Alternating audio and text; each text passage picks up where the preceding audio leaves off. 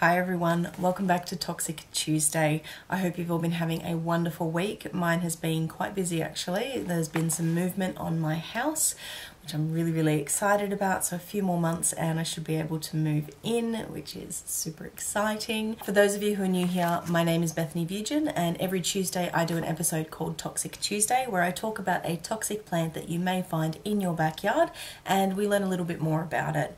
And on today's episode, we are looking at Dendrocnide moroides. Dendrocnide moroides is more commonly known as gympie gympie here in Australia. It is a perennial understory shrub that is a member of the nettle family Urticaceae. It can grow in size from 3 to 4 metres and is very similar looking to its closely related cousin Dendrocnide cordifolia.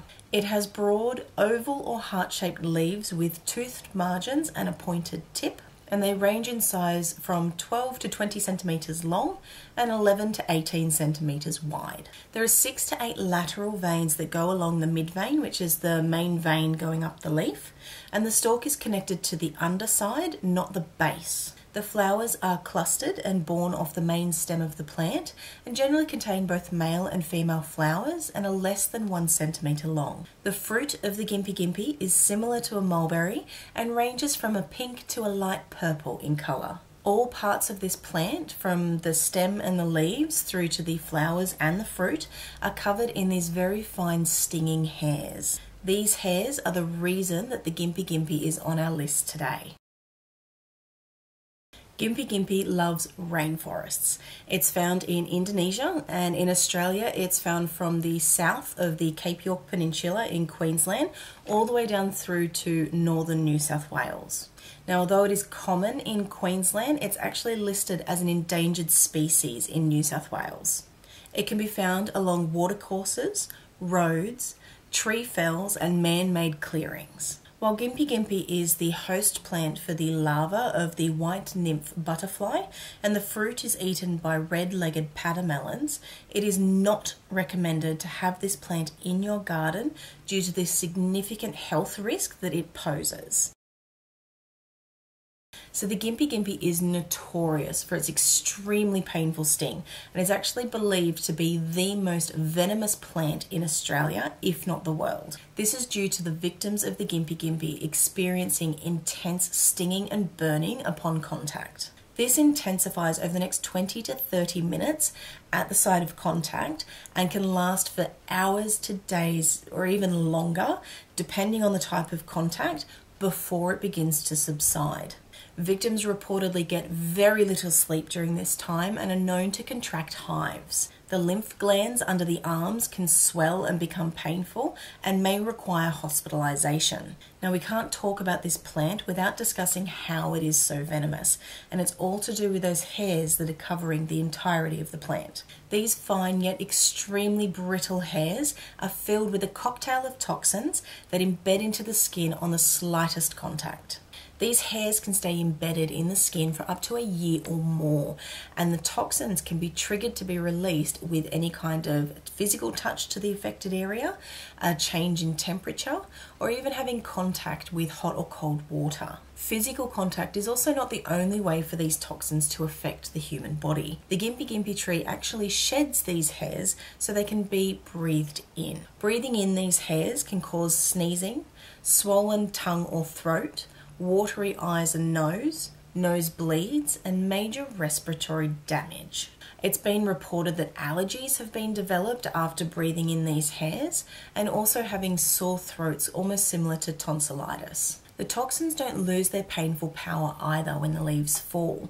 If you pick up any piece of the tree that has fallen and is brown and looks dead, the toxins are actually still active.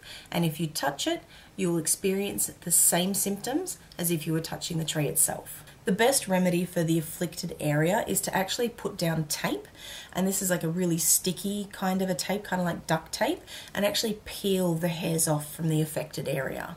It's important that this is done as quickly as possible though, due to the fact that the hairs are so fine that your skin is likely to close over them, therefore trapping them and making removal impossible.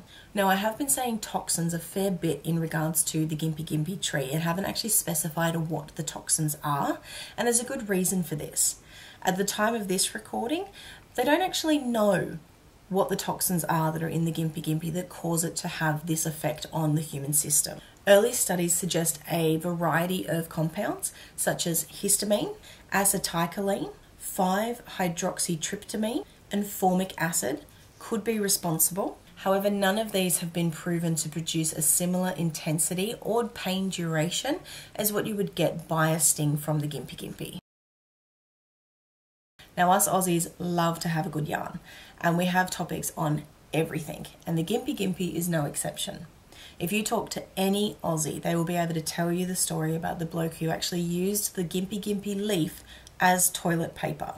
Now, after hearing everything that occurs with upon contact with this particular plant, you can only imagine the horrific pain that this poor guy was in. While I was researching this, though, I did actually find some documents by uh, Dr. Marina Hurley, who actually researched the stinging trees and also the animals that eat the plant without succumbing to its dangerous touch.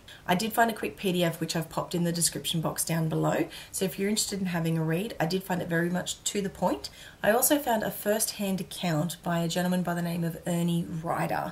In 1963, he was unfortunate enough to be smacked in the face, arms and chest by a stinging tree. He said, and I quote, I remember feeling like there were giant hands trying to squash my chest. For two or three days, the pain was almost unbearable. I couldn't work or sleep, then it was pretty bad pain for a fortnight or so. The stinging persisted for two years and reoccurred every time I had a cold shower. He then went on to further explain There's nothing to rival it. It's 10 times worse than anything else. Scrub ticks, scrub itch, and itchy jack sting included. Stinging trees are a real and present danger. So if you go for a bushwalk in the Australian rainforest, make sure you stick to the path, wear the appropriate clothing required, and don't touch anything. That is everything today, guys, on Dendrocnide moroides. Chuck us a comment down below on what you learnt today or if you have any stories yourself about what this plant has done. And while you're there, don't forget to like and subscribe. It really helps me out. Thank you, as always, for spending some of your day with me. It is always appreciated. And I will see you all on the next episode of Toxic Tuesday. Have a lovely week, guys. Stay safe and keep on learning. Bye.